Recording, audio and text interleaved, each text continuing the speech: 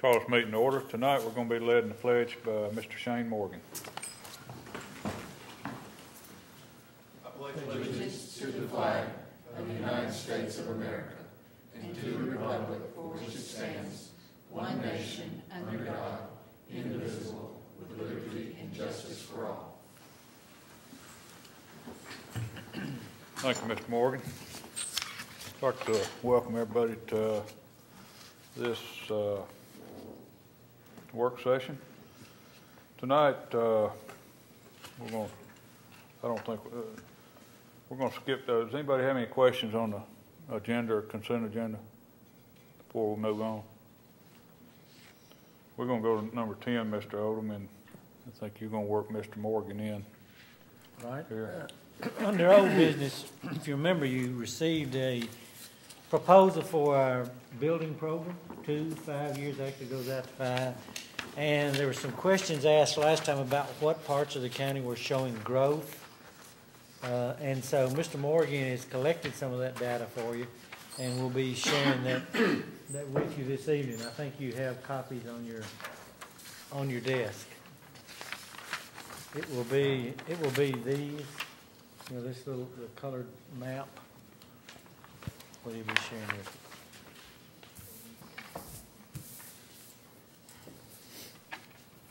you. After uh, speaking with uh, the different planners from uh, various cities and our county, um, the data was collected in this usable format from both uh, Rutherford County and the city of Murfreesboro. Uh, When Mr. Odom had first approached me and asked me to get some data that you had requested, um, it is kind of hard to put together, especially on the fly like this, um, that kind of, the kind of information that would indicate um, exactly uh, where parcels are available for sale, exactly what the inventory is at the moment. Um, I can get it for you, it just takes an extended period of time, working with various departments uh, in our county. The next best thing was to show you the trend or where data had, or where lots had sold and permits had been issued, um, especially in single-family dwellings over the course of the last several years. So what I've given you here is four years' worth of history, and you can, it's represented in two ways. Um, by year, uh, 2010 to 2013, it's current as of uh, the eight- 17th of the month. Um, And it goes back to January 1st, 2010 for each one of those maps. Um, And you can also see a point layer on the map that kind of gives you an idea of where the cluster of those sales might have been, or permits, not sales. The third document that I presented to you right before the meeting was a spreadsheet that basically showed you um, the growth taken from our ADM reports from the first month of 2000, the 2010, 2011 school year, uh, all the way through the third month of this current school year. And based on, and I just kind of highlighted the middle schools just to give you an idea of where we were growing. But based on those numbers from the first month of 2010 to the first month of 2012, um, you can get an idea of what our growth has been in different, at the school level.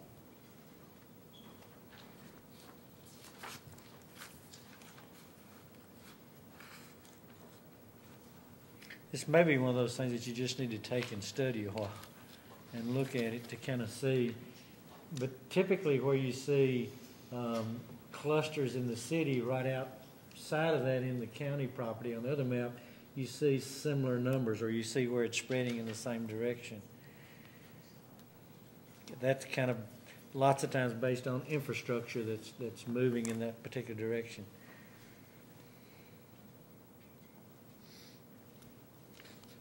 Guess the question I'd have, Mr. Morgan, I know, I know you probably can't pull it right, right away, but, uh, on Rockvale Middle, where you got twenty-five percent increase on that, Yes, sir. uh, and this, uh, based on your figures here, uh, what area is that exactly? Uh, do you know? Uh, No, sir, I I wouldn't, I wouldn't know without looking more in depth. This literally was taken from our, our state reporting. Um, Okay, I, I didn't look at a, a map in particular to get these numbers. That's interesting, when you look at it, you see in the city there, coming out to Veterans Parkway, you see, over those four years, two hundred and sixty plots. And you come down and match that with your county, and you see another two hundred and thirty-four plots. So you're looking at four hundred and ninety-four actually plots or, or houses there in, in those four years.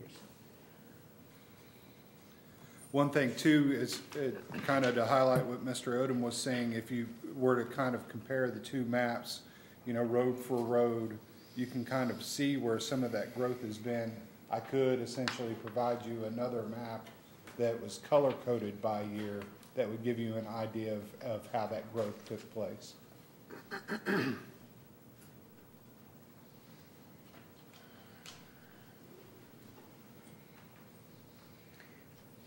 Guess most of your growth is probably in, the in the last year or two, I guess, isn't it? Yeah, and, You can see and if you look, you're gonna see a lot of it's gone right down Veterans Parkway.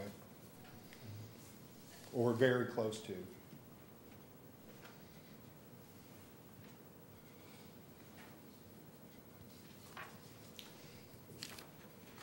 Can we share any type of opinion about the nature of that growth? Is it, uh, I mean, this is single-family dwellings, but do we have the apartment density uh, growth that we've talked about in addition to this, or is this, or is that somehow represented? No, it, it isn't. These are literally single-family dwellings. I am working on the, the, uh, multifamily dwellings and, um, industrial, commercial. I'll be putting all of it together, but it was important to, to put this together for you right away. Sure. As far as all these, the different municipalities and entities you're working with, do they have their own projections, what they think is coming? I actually have been in conversation with them. Um, we haven't come to a definitive answer. Uh, I know that the town of Smyrna, for example, just finished a, uh, five-year growth plan, and I'm working with Mr. Goodrow and Mr., um, um, I'm trying to think of the planner's name, it just escaped me. I know it starts at, Ri- uh, Rigsby, thank you. I'm working with Mr. Rigsby as well, trying to find out what they're doing. They seem to be on a very fast track for growth, especially in the multifamily, as we dealt with with Stewart's Creek opening.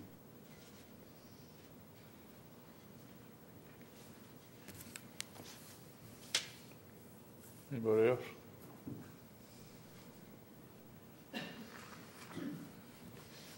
All right, thank you, Mr. Morgan. You're welcome. Uh, eleven,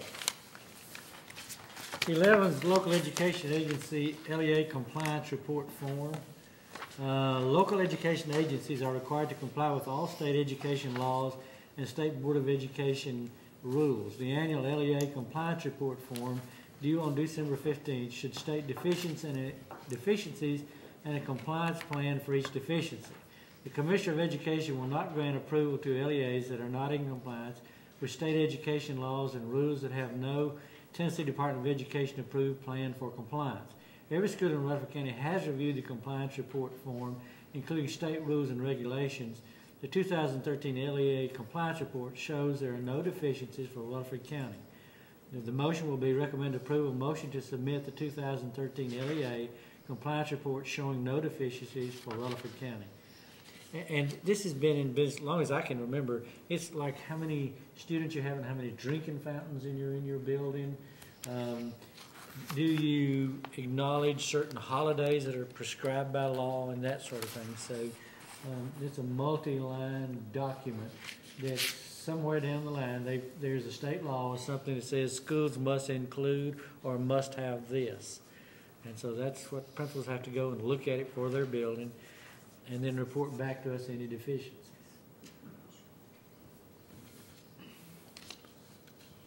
any questions?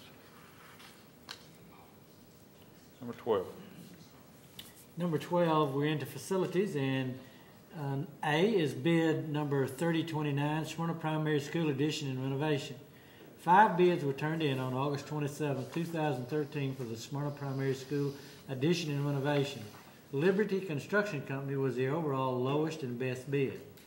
Recommend approval, motion to approve Liberty Construction Company for their overall lowest and best bid of two million, two hundred sixty-six thousand, five hundred dollars for the Smyrna Primary School addition and renovation. And Mr. Carter, have checked out a new company for us, basically, but he's done some research on that. That's what I was gonna ask. I, I don't remember us having any kind of track record with this, with this company. They know, they've done several buildings, um, there's some Franklin, and, uh, one of the main source of their business is they're also electrical contractors. So they also have a general contractor's license, they were able to supply the bond, and they held the price for us, so we'll, until they do get some kind of track record with us, we'll manage them very closely. When will that actually start? Yeah, Um, just, uh, in December, uh, probably about the second week in December. Actually, we're in the process right now of, uh, rounding up the subs and everything, to relocate the portable. So once we get that done, we'll get them in there and get them digging. anybody else? B, B is walking tracks for various schools.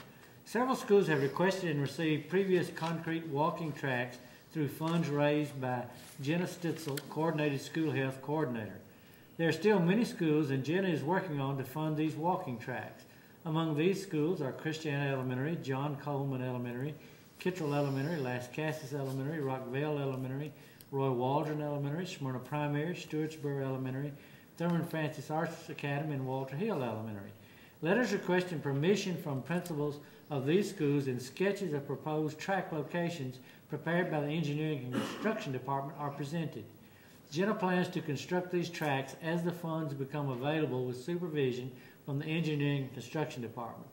Individual bids will be presented to the board in future consent agendas for approval. In other words, if she gets the funding, it's gonna come back to you with the design, what we're talking about. So the motion is to approve construction of pervious concrete walking tracks at Christiana, John Coleman, Kittrell, Las Casas, Rockvale Elementary, Roy Waldron, Smyrna Primary, Stewartsboro, Thurman Francis Arts Academy, and Walter Hill Elementary, as presented. any comments? Questions? All right, Mr. Odom, uh, thirteen, Thirteen is our new and revised policies on the first reading. That's some of the ones we worked on the last policy committee. The first one is policy three point two oh eight, facilities planning. And we propose adoption, district required by federal regulations to implement a policy regarding facilities management and asbestos plan management. Part of this even included some of our energy saving, if you remember. Policy four point six oh six, graduation. Proposed uh, revision, district required by state regulation to have a policy regarding recognition for students who graduate with distinction and state honors. We actually did recognize those students last year, but we didn't have it in our policy, so we need to go ahead and put it in our policy to cover that. And policy one point four oh four, appeals to and appearances before the board. Purpose of the revision, to limit visitor presentations to three minutes and prohibit visitors from making personal attacks against board members or school system personnel. Policy one point eight oh three, tobacco-free schools. Purpose of this revision is to add electronic cigarettes and vaporizers to the list of prohibited items. And, um, Ms. McLeod was with the high school principals today. They were glad to see this. Uh, they're already beginning to try to take them up. I just didn't know those things cost that much. I, I just didn't have an idea. They had one cigarette there was what, a hundred dollars? One of them had today. Um, you know, so it's a, it's a very expensive, uh, thing for people, so. I don't know, but the high school principals were made aware, of it. we're certainly in consent for us doing this. Policy 1.704 Charter Schools, purpose of revision, to add the following requirements to the application process. Compliance with Tennessee Department of Education application requirements, timely filing, budget submitted on approved forms, grade structure equivalent to structure of the system, students must reside within Rutherford County, candidate status for SACS accreditation must be received within the first year of operation for 9 through 12 schools, 9 through 12 schools must meet system graduation requirements and provide a curriculum to meet the University of Tennessee Board of Regents and NCAA requirements for Division, Division One schools. Compliance with all state and federal rules regarding nutrition, transportation, bids and purchases, and special education. In our previous form, we noticed that it was on an old form, some of it, and, and certain dates and things weren't there, so we just need to get in our policy that we are complying in all of these areas. And then policy six point seven oh two, student clubs and organization. Purpose of this revision is to distinguish between curricular and non-curricular clubs and provide rules for posting materials in school buildings. Recommend approval, motion to approve the adoption of policy three point two oh eight and revisions to policies 4.606, 1.404, 1.803, 1.704, and six point seven oh two on first reading is recommended by the policy committee. Ms. McLeod did share the posting with the high school principals also today, and they do have areas where they're posting, so they were, seemed to me be okay with that. They understood that. I think the summaries are very good, and uh, I think we should spend the time tomorrow evening to go through those summaries. Sometimes in these policy revisions, we dispense with the reading and such, but I think this presentation is very nice and informative to the public, so uh, I thank those that put that together. Anybody else? Uh, fourteen, uh, uh, make sure everybody reads her. I think you got a packet of information tonight, uh, read it for tomorrow night. Uh, fifteen, Mr. Odom. Fifteen, and this is for information to let you know, the Transportation Department was budgeted nine buses for 2013-14. That's nine additional buses. We put on eight buses through October. This brings us to a total fleet of two hundred and thirty-six buses. We have exhausted the first priority, second priority, and third priority list for future contractors. We are currently at number twenty-three out of sixty-three contractors on the fourth priority list.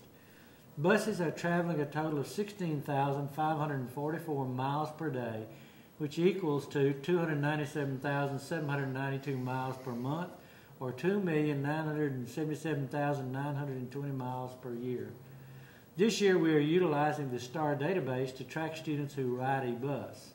STAR is the attendance piece of software, and it's the way we have to report transportation to the State Department of Education now. So that, that's the change.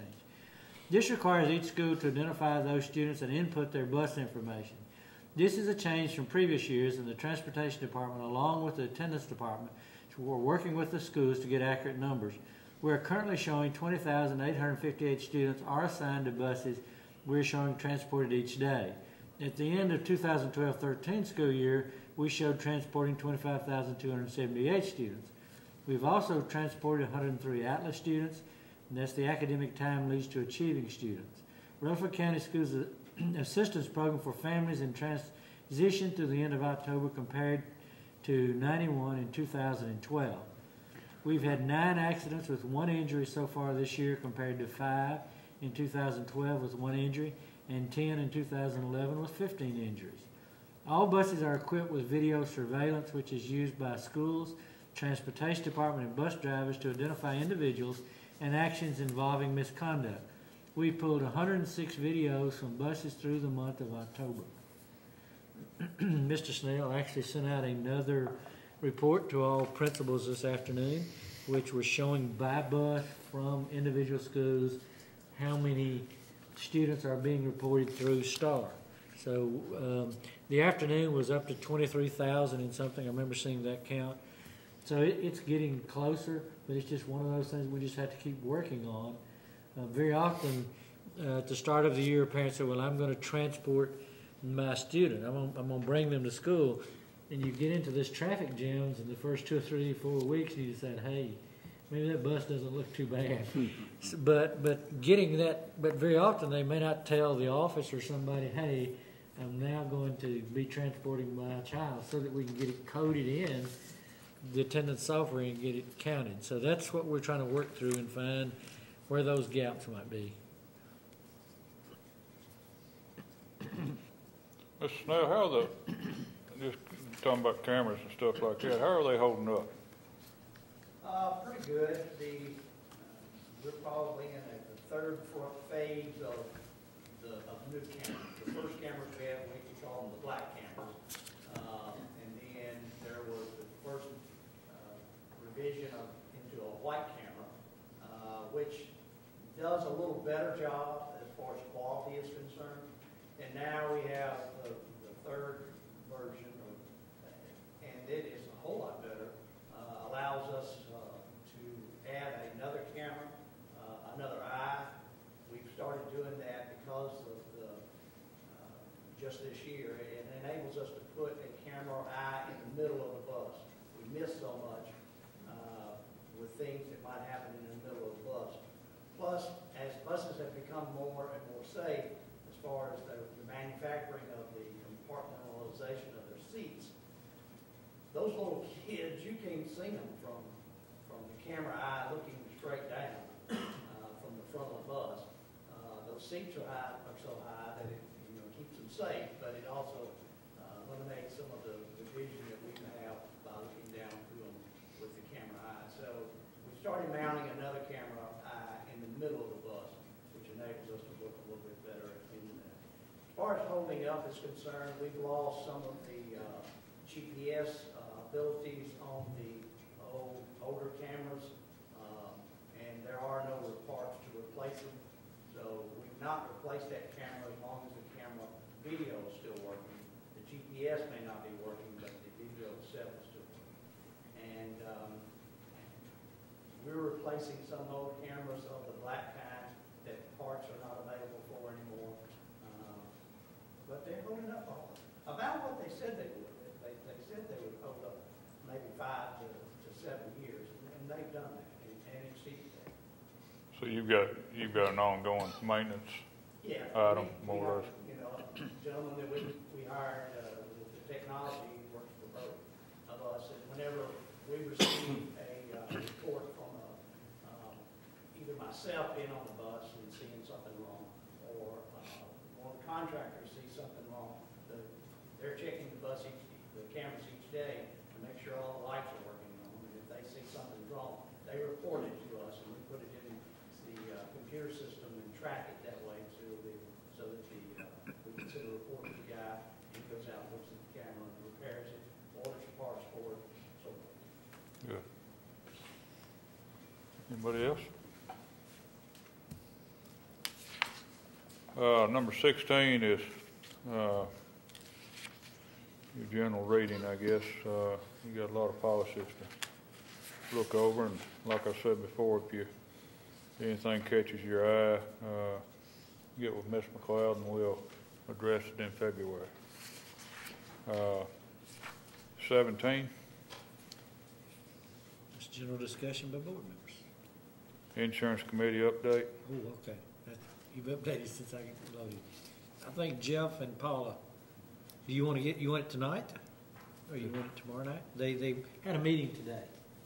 Why don't we, uh, since Mr. Nipper's not here, if it's agreeable with the board, uh, go over it tomorrow night unless, uh, any board members object. Is that okay? Yes, sir. We can do that tomorrow night. Uh, number eighteen, general discussion.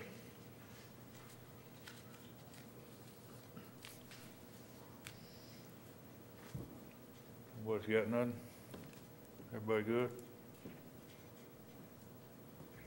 All right, if there's nothing else, we'll stand adjourned and be here tomorrow night at five o'clock.